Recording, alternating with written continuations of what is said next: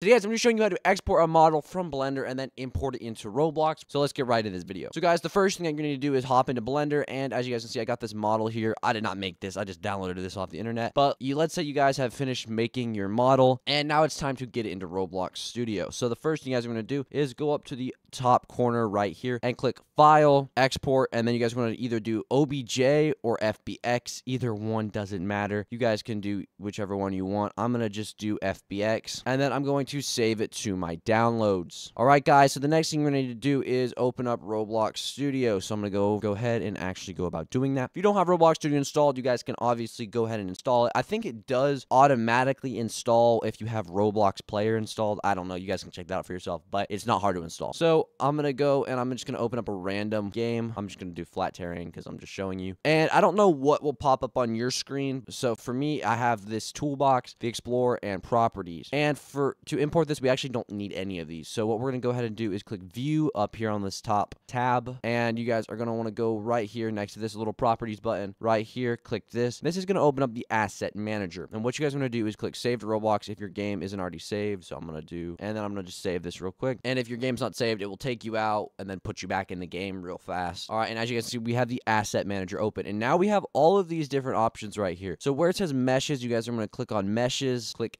add meshes, go to your downloads. So now that we have it saved to our downloads, we can obviously open this up right here. click open, and then it's going to ask you a couple of questions. Rescale if too large, reverse inward pointing, image normal. So just leave these settings how they are and click apply. And it's going to go ahead and import these. Now it's telling you if it's been resized or not. All of these I think have been resized. But boom, now we have these models in here. And as you guys can see, recently added, we have all of this. So if you guys go up and you click control and shift, you can select all of them like that. And then you guys can right click on them and click insert. And as you guys can see, has imported our tree to the game. And obviously we can do a bit of resizing. And you guys can also go ahead and change the colors of each part. That is a nice feature and it makes it a lot easier. So anyways, without further ado, that's pretty much how you can get your Blender models into Roblox Studio. If this video helped you guys out at all, please make sure to leave a like, comment, and subscribe. And I will see you guys in the next one.